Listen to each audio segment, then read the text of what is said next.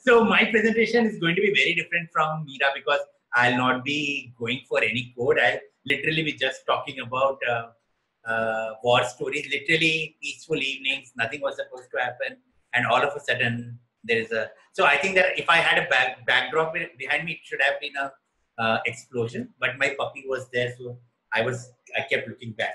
So uh, let's go with the first one. So this happened. So I have a to give a little context.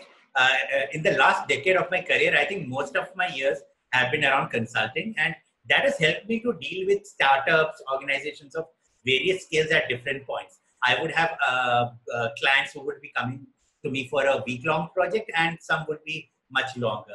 So, this was one of the longer projects, and uh, I was uh, asked to help them out during the release. So, what happened is that there was this very highly anticipated startup, and they, they posted their product on Hacker News, and all of a sudden it blew up so I think that is how normally it happens, right? You put it on Hacker News, and all of a sudden everybody remembers you. But you know what happened the next day? The business person comes to the tech team and they're like, "We got 500 upvotes on Hacker News, but how could we make only 20 sales?" Then uh, people asked him that, "Hey, where were you looking at?" They were like, "Oh, we were just looking at the slave DB."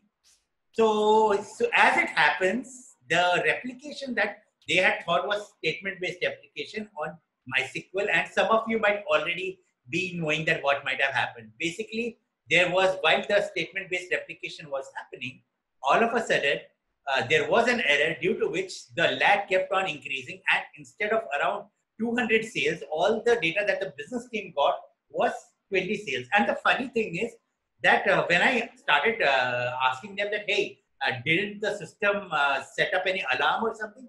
They're like, oh, do you monitor SQL?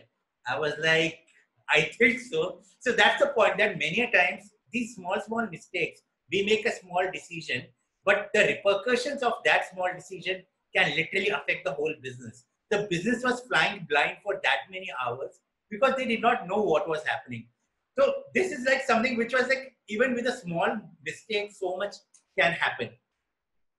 Then uh, there was another very funny incident that happened. Another, I will not call it a war story, I'll call it a campus story. So a very big MNC approached some big organizations to develop a, uh, a software for uh, recruiting in their campus, but then they realized that they don't have the budget. So what do they do? They just ask a uh, college student to build it.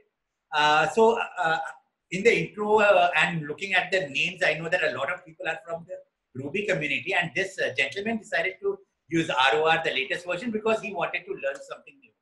And uh, he went for uh, the validations on the model. So now imagine what might have happened.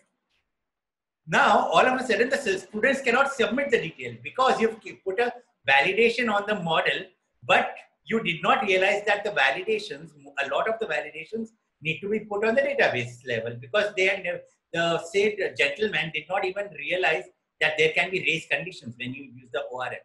So I think the over reliance on ORM was something that the gentleman learned very quickly. Uh, I think he learned it before even joining the workforce, which is, like I can say, a, a very good thing. But that definitely was like something funny because the people were like, we built a software to get students' details and nobody could submit their details because of the unique constraints that they have put. Uh, the next two war stories are very simple. I think everybody can understand this. There was a table, billions of records. Somebody just ran a migration on it. Imagine on a Friday night when your site is supposed to take all the reservations in the world, all of a sudden nobody can do anything because you ran the migration. So thought for the day, thought for the whole future. Try not to run it on Friday nights, but I think a lot of people love to do it on Fridays and have reliability still. And one of the most classic one was that uh, the ops team was not told that they that the tech team is migrating from MySQL to Postgres. So and they had all their reports configured for MySQL, and uh, it was damn funny for some time. After which it got serious. But I felt that this is like something which happens, and a lot of us uh, kind of underestimate how important communication is. So it's not only about the SQL syntax, but it is much more because uh, with this data, businesses are built and burnt out. Yeah, I think, uh, yeah, this is all the war stories I had from my side.